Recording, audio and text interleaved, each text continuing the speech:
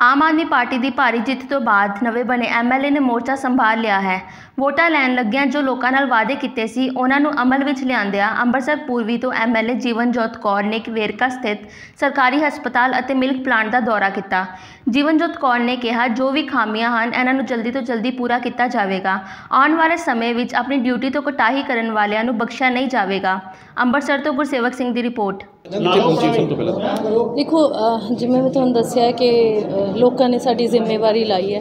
ਸੋ ਸਭ ਤੋਂ ਪਹਿਲਾਂ ਸਿਹਤ ਬਹੁਤ ਜ਼ਰੂਰੀ ਹੈ। ਸੋ ਇਸੇ ਦੇ ਤਹਿਤ ਅੱਜ ਅਸੀਂ ਨਿਕਲੇ ਸੀ ਤਾਂ ਇੱਥੇ ਹਸਪੀਟਲ ਆਏ ਆ ਪਰ ਸਾਫ਼ ਸਫ਼ਾਈ ਦਾ ਬਹੁਤ ਹਾਲ ਖਰਾਬ ਹੈ ਜਿਹੜਾ ਅਸੀਂ ਉਹਨਾਂ ਨੂੰ ਦੱਸ ਦਿੱਤਾ ਹੈ।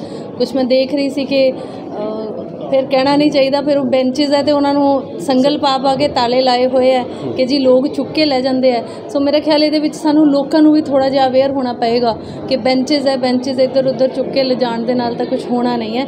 ਸੋ ਕਹਿਣ ਦਾ ਮਤਲਬ ਇਹ ਹੈ ਕਿ ਸਾਥ ਦੀ ਲੋੜ ਹੈ। ਜੇ ਪ੍ਰਸ਼ਾਸਨ ਐਫਰਟਸ ਕਰਦਾ ਹੈ ਤੇ ਲੋਕਾਂ ਨੂੰ ਵੀ ਉਨੀ ਐਫਰਟ ਕਰਨੀ ਪੈਣੀ ਹੈ। ਇਕੱਲੇ ਕਿਸੇ ਦਾ ਕੰਮ ਇਹ ਹੁੰਦਾ ਨਹੀਂ ਹੈ ਪਰ ਸਾਫ਼ ਸਫ਼ਾਈ ਤੋਂ ਮੈਂ ਉਹਨਾਂ ਨਾਲ ਗੱਲ ਕੀਤੀ ਹੈ। ਹਰ ਜਗ੍ਹਾ ਤੇ ਮਿੱਟੀ ਹੈ ਡਸਟਿੰਗ ਬਹੁਤ ਜ਼ਿਆਦਾ ਹੈ ਸਫ਼ਾਈ ਨਹੀਂ ਹੋਈ ਹੈ। ਪਿੱਲੋਜ਼ ਪੇਸ਼ੈਂਟਸ ਦੇ ਕੋਲ ਨਹੀਂ ਹੈ ਉਹਨਾਂ ਨੂੰ। ਮੈਂ ਕਿਹਾ ਤਾਂ ਅਸੀਂ ਹੁਣੇ ਚੈੱਕ ਕਰਕੇ ਜਾਣੇ ਉਹਨਾਂ ਨੇ ਪਹੁੰਚਾ ਦਿੱਤੇ ਕਿ ਨਹੀਂ।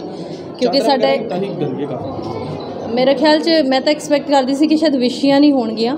ਪਰ ਹੁਣ ਇਹਨਾਂ ਨੂੰ ਅਸੀਂ ਇਹ ਕਹਿ ਕੇ ਜਾਵਾਂਗੇ ਕਿ ਜਦੋਂ ਨੈਕਸਟ ਵਿਜ਼ਿਟ ਸਾਡਾ ਹੋਏਗਾ ਉਦੋਂ ਸਾਨੂੰ ਐਟਲੀਸਟ ਸ਼ੀਟਸ ਤੇ ਪਿੱਲੋਜ਼ ਜਿਹੜੇ ਆ ਉਹ ਸਾਫ਼ ਸੁਥਰੇ ਪਿੱਲੋ ਸ਼ੀਟਸ ਹੋਣੇ ਚਾਹੀਦੇ ਆ। ਕੋਈ ਸਾਰਾ ਸਿਸਟਮ ਹਸਪਤਾਲਾਂ ਦਾ ਤੇ ਮੈਂ ਇਸ ਤੋਂ ਬੱਤਰ ਦੇਖਿਆ। ਮੈਂ ਗੁਰੂ ਨਾਨਕ ਦੇਵ ਹਸਪੀਟਲ ਦੀ ਅਗਰ ਗੱਲ ਕਰਦੀ ਤੇ ਪਿੱਛੇ ਜਿਹੜੀ ਸਾਡੀ ਏਐਨਐਮ ਭੈਣ ਨੂੰ ਸਿੱਧੂ ਸਾਹਿਬ ਦੀ ਗੱਡੀ ਦੇ ਥੱਲੇ ਰੋਂਦੀ ਗਈ ਸੀ ਜਿਹੜੀ ਉਹਨਾਂ ਦੇ ਬੈੱਡ ਨੂੰ ਉਹਨਾਂ ਨੇ ਉੱਚਾ ਚੁੱਕਿਆ ਸੀਗਾ ਤਾਂ ਉਹ ਇੱਟਾਂ ਸੀਗੀਆਂ ਉਹਨਾਂ ਕੋਲ ਕੋਈ ਪਿੱਲੋ ਨਹੀਂ ਸੀ ਕੋਈ ਕੰਬਲ ਨਹੀਂ ਸੀਗਾ ਕੋਈ ਫਰਸਟ ਏਡ ਨਹੀਂ ਸੀ ਦਿੱਤਾ ਗਿਆ।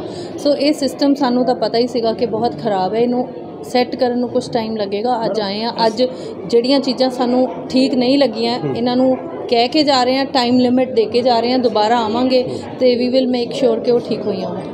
ਜਿਹੜਾ ਰਜਿਸਟਰ ਵਗੈਰਾ ਚੈੱਕ ਕੀਤਾ ਗਿਆ ਡਾਕਟਰਾਂ ਦਾ ਕੋਈ ਗੈਰ ਹਾਜ਼ਰੀ ਵੀ ਲੱਗ? ਮੈਂ ਅਜੇ ਰਜਿਸਟਰ ਚੈੱਕ ਨਹੀਂ ਕੀਤਾ ਜੀ। ਮੈਂ ਮੈਂ ਅਜੇ ਦੇਖਿਆ ਨਹੀਂ ਕਿਉਂਕਿ ਮੈਂ ਅੰਦਰ ਆ ਗਈ ਹਾਂ ਓਟੀ ਦੇ ਵਿੱਚ ਗਈ ਹਾਂ, ਇੱਕ ਬੇਬੀ ਕਾਰਨਰ ਹੈ ਜਿੱਥੇ ਨਵਜਾਤ ਬੱਚਾ ਜਿਹੜਾ ਉਹਨੂੰ ਉੱਥੇ ਸ਼ਾਇਦ ਲਟਾਉਂਦੇ ਆ, ਪਰ ਉਹ ਮਿੱਟੀ ਦੇ ਨਾਲ ਭਰਿਆ ਹੋਇਆ ਹੈ।